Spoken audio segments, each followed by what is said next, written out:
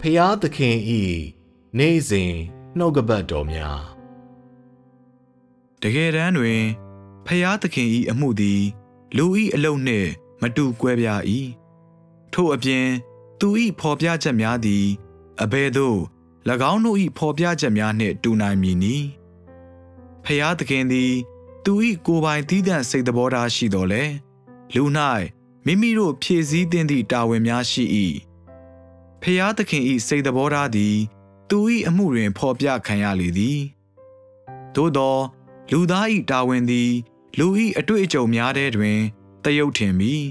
လူသားဤလိုက်စားမှုများတဲ့တွင်ဖော်ပြခံရ၏ထို့ကြောင့်တစုံတရာသည်ဖျားသခင်ဤဖော်ပြချက်ဟုတ်မဟုတ်သို့မဟုတ်လူသားဤဖော်ပြချက်ဟုတ်မဟုတ်ဆိုသည်မှာလှုပ်ဆောင်ခဲ့သည့်အလုံးမတဆင့်တိတာထင်ရှားလာလေသည် ဖျားသခင်ကိုရော်တိုင်းရှင်းပြဖို့မလိုအပ်တဲ့ကဲ့သို့လူသားကတတ်တည်ခံရန်ကြိုးပမ်းဖို့လည်းမလိုအပ်ပေထို့အပြင်ဖျားသခင်ကိုရော်တိုင်းညီသည့်လူကိုမဆိုဖိနှိပ်ဖို့မလိုအပ်ပေဤအရာအလုံးသည် အလိုလျောက်ထုတ်ဖော်ပြချက်တစ်ခုဖြစ်သည်ယင်းသည် အတင်းအကျပ်လှုပ်ဆောင်စေခြင်းမဟုတ်တဲ့ကဲ့သို့လူကကြားဝင်နှောက်ယှက်၍ရသည့်အရာတစ်ခုလည်းမဟုတ်ပေလူသားဤတာဝန်ကို၎ င်းတို့၏အတွေ့အကြုံများမှတဆင့်သိနိုင်ပြီးအတွေ့အကြုံဆိုင်ရာအလုပ်အပိုတစ်ခုတလေကိုမျှလူတို့ကလှုပ်ဆောင်ဖို့မလိုအပ်ပေလူသား၏အနှစ်သာရအလုံးသည်၎င်းတို့၏တာဝန်ကို၎င်းတို့ဆောင်ရွက်စဉ်ထုတ်ဖော်ပြခံရနိုင်၏ဖျားသခင်မှမူမိမိ၏ရှီရင်ဆွဲစိတ်သဘောထားကို သူ၏အမှုဆောင်ရွက်နေစဉ်တွင် ဖော်ပြနိုင်ပေသည်လူသား၏အလုပ်ဖြစ်ပါကယင်းကိုဖုံးကွယ်၍မရနိုင်ပေ ဖျားသခင်၏အမှုဖြစ်ပါကဖျားသခင်၏စိတ်သဘောထားသည် လူသား၏ထိမ့်ချုပ်ခံရဖို့မဆိုနှင့်ညီသူမဆို၏ဖုံးကွယ်ထားဖို့တာ၍ပင်မဖြစ်နိုင်ပေမြည်သည့်လူသားကိုမျှဖျားသခင်အဖြစ်ပြော၍မရနိုင်တဲ့ကဲ့သို့၎င်းတို့၏အလုံးနှင့်စကားများကိုတန်ရှင်းသည်သို့မဟုတ် ပြောင်းလဲ၍မရဟုမှတ်ယူ၍လည်းမရပေဖျားသခင်သည်မိမိကိုယ်ကိုဇာတိပဂတိဖြင့်ဆင်ထားခဲ့သောကြောင့် လူသားဟုပြောဆိုနိုင်တော်လဲသူ၏အမှုကို လူသား၏အလုံးသို့မဟုတ် လူသား၏တာဝန်အဖြစ်ယူဆ၍မရပေ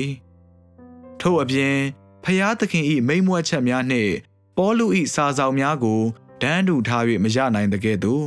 ဖျားသခင်၏တရားစီရင်ခြင်းပြစ်တင်ဆုံးမခြင်းနှင့် လူသား၏ပညာပေးစကားများကိုဒန်းတူဟုပြောဆို၍မရပေထို့ကြောင့်ဖျားသခင်၏အမှုနှင့် လူသားအလုပ်ကို ခွဲခြားသိမြင်စေသည့်အခြေခံသဘောတရားများရှိလေသည်ဤအရာများကို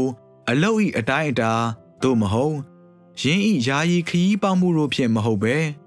၎င်းတို့၏အနှစ်သာရများနှင့်အညီခွဲခြားထားခြင်းဖြစ်သည်ဤအကြောင်းအရာနှင့်ပတ်သက်၍လူအများစုက အခြေခံသဘောတရားနှင့်ဆိုင်သော အမှားများပြုမိကြသည်ဤသည်မှာလူသားသည်၎င်းတို့စွမ်းဆောင်ရရှိနိုင်သည့် အပြင်းပန်းအရာများကိုသာကြည့်တော်လဲ